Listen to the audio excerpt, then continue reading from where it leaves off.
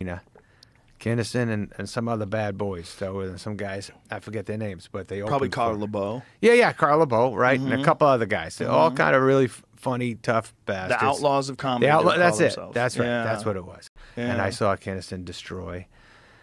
Uh, and uh, it was it was like I saw Rodney at a theater in Florida where it felt like fucking holy shit, this is a rock show because it was bam, bam, bam. Yeah, oh, crowd Rodney. nuts. Rodney. Rapid fire, like a machine Yes. gun. Hey, I, the best Rodney would crush for like eight minutes and then go, I know a lot of fucking jokes, baby. And they go, "Ah." you know, that was so cool, man. But Kinison too just took over. You, I saw him in the moment. It was, it Yeah. was amazing.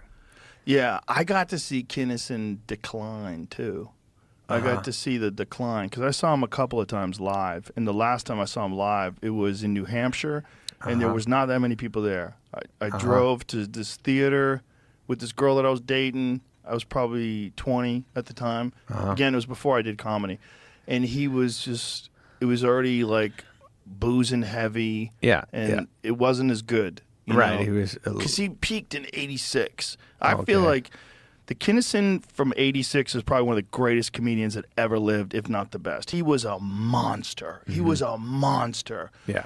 But the guy was doing blow and Right. drinking and Yeah, yeah, hanging yeah. out with rock stars Yeah, and yeah, just yeah. partying. And he, his brother wrote about it. Did you ever read his brother's book? Uh-uh. Brother Sam. Right, His right. I brother Bill. it. It's a great book Yeah. it's a great book. If you're a fan of stand up, I tell anybody go buy that book because it's a great book. And Bill said that you could see the drop off in Sam's material because he just stopped writing. He, Right. he wasn't hungry anymore. Right, He right, had right. made it instead. Yeah. You know, because there's this like there's this hunger inside of him to make it as a comedian, and Yeah. that's what led him to be outrageous. And Yeah.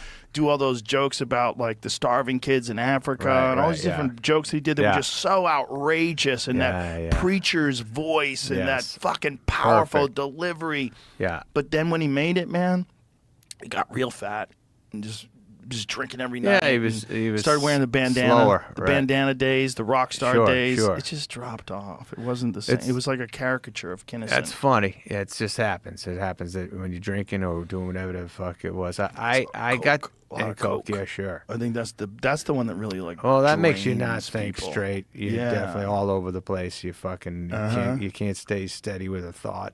Yeah. And uh, but I I remember I met him a couple times. Pauly Shore was very tight with him. Yeah. And I knew Pauly and I hung out with Kinison a couple times, but uh but I saw him at the improv the last time I saw him and he had he was a little little he was so sweet.